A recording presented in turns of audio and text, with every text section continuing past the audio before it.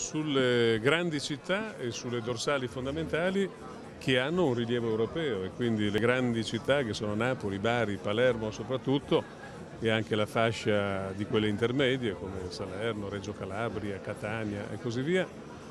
e sulle direttrici che collegano queste. Importante è investire anche all'interno dei nodi urbani e quindi il grande intervento che stiamo facendo a Palermo, gli interventi che stiamo facendo sulla parte tangenziale di, di, Napoli, il grande intervento anche dentro Bari per collegarlo ai vari tratti di rete e soprattutto poi la Napoli-Bari alta capacità, i grandi interventi di velocizzazione sulla linea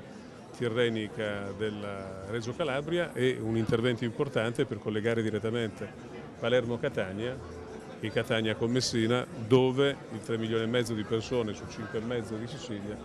ogni giorno lavorano, hanno attività, hanno relazioni.